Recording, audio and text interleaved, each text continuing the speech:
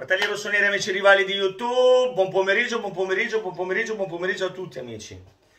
Allora, volevo parlare di una cosa. Visto che ci avete rotto le palle per tutta l'andata, la rigorista, la rigorista, la rigorista, bla bla bla, volevo soltanto fare presente ad alcuni amici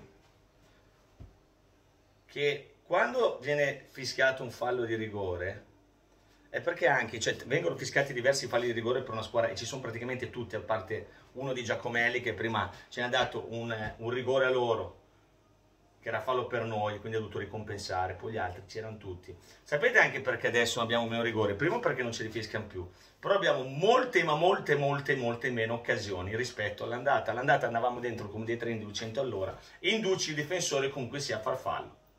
Punto, questo qua è semplice. Comunque parlando di, di correttezza in realtà. A me sembrano tre, tre, tre, tre arbitri. Il signor, il signor Maresca, il signor Maresca da, da Parma Milan non ha più arbitrato.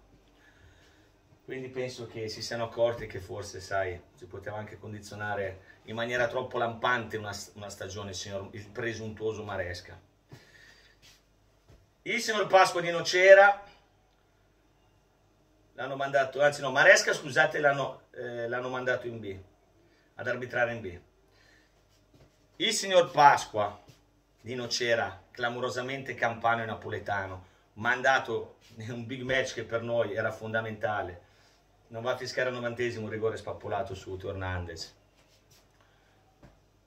Non hanno addirittura fatto più arbitrale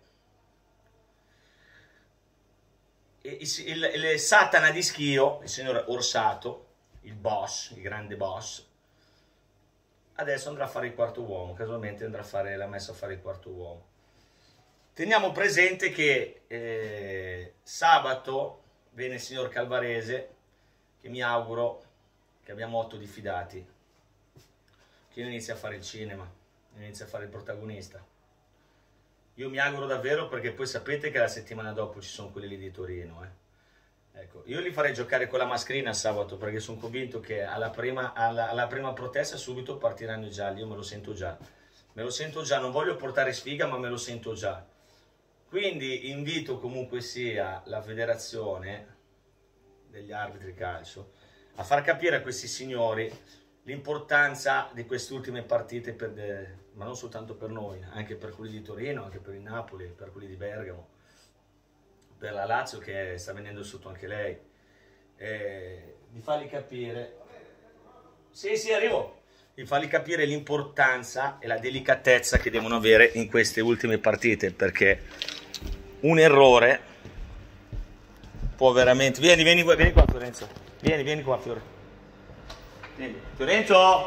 Che è sordo. Vieni qua. Sto, che sto facendo il video. Fiorenzo ti chiamerò Amplifon un po', eh. Te lo regalo io l'apparecchietto. eh, sono tre finanzieri venuti a rapinarci. No, no, sono tre del, della Folletto, meno un aspirapolvere. Dicevamo, vabbè, vanno bene della Madonna Fiorenza, un, pro, un pochettino, un amplifone, cazzo ogni volta lo chiamo, li parlo, ma a sta altezza qua.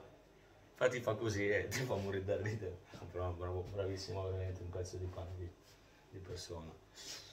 Stavamo dicendo, stavamo dicendo eh, che spero che la federazione arbitri calcio, come cazzo si chiama, veramente parli in queste, in que, a questi signori con la divisa di non fare i protagonisti e soprattutto a quelli del VAR di stare belli svegli.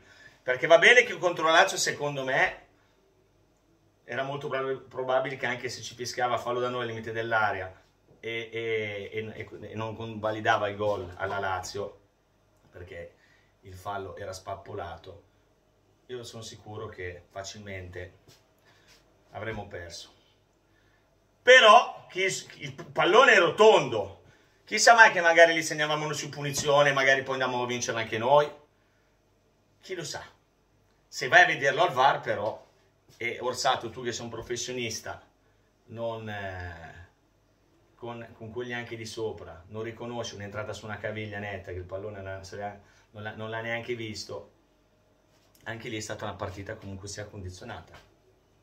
Ce n'è di, di palle. E, e, quindi mi auguro questo, visto che abbiamo 8 diffidati, si sa contro chi giochiamo la partita dopo.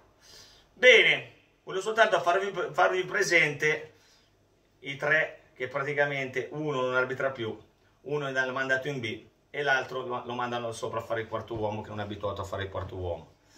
Soltanto questo è eh. un apro e, chiuso, e chiudo parentesi. Apro e chiudo parentesi. Punto. Ciao a tutti.